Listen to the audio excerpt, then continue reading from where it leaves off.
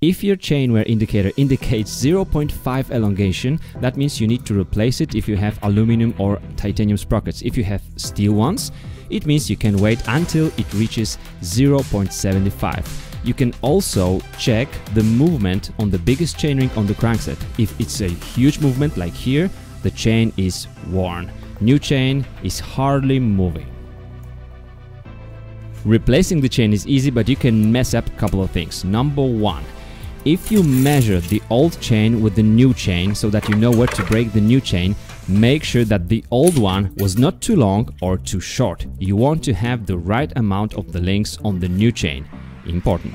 Then when you put the link, remember it's not fully engaged.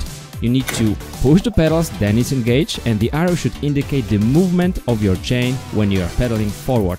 I also clean all my new chains from the outer side so that they don't attract dirt.